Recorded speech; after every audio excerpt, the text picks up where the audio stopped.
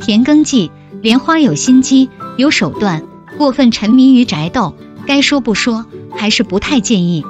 莲花儿被嫉妒，被针对，总能逆风翻盘，触底反弹。莲花儿看不惯，又斗不过，整这一出出，来来回回折腾又何必？一起了解一下莲花儿怎么招惹莲花了。莲花是怎么的人？真的是纯坏吗？莲花儿是心比天高的人。莲花儿起点比莲花低，却比莲花儿混得好。莲花是七个不忿，八个不服，没有机会也要创造机会，认认真真宅斗，给莲花儿使绊子。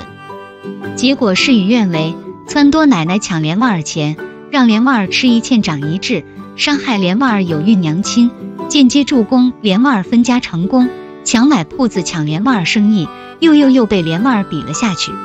接连翻车之后。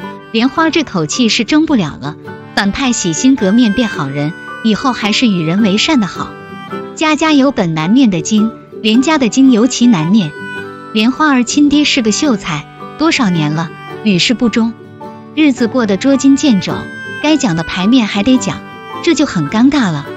莲花亲妈下嫁过来，陪嫁拜的所剩无几，还要被公婆嫌弃生不了儿子。莲花儿强行立大家闺秀人设。言行举止拿捏住了，身价不到位，在旁人眼里啥都不是。真正的大家闺秀，就算带他玩，也挺瞧不上他。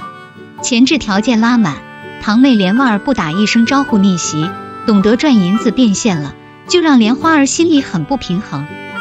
尤其莲花儿还未分家，莲花还未出嫁，你瞅我，我瞅你，莲花儿越瞅越不是滋味，没有底线，没有原则。只要莲花儿不乐呵，她心里就乐呵。莲花儿大黑天的麻袋一套，打了莲花一顿，暂时把莲花儿打老实了。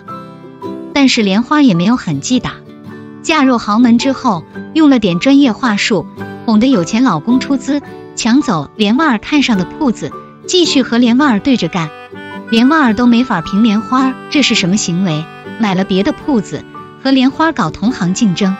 最后当然是莲花儿输了，结局莲花有钱，老公家里没钱了，没有资本支撑，莲花也折腾不出花。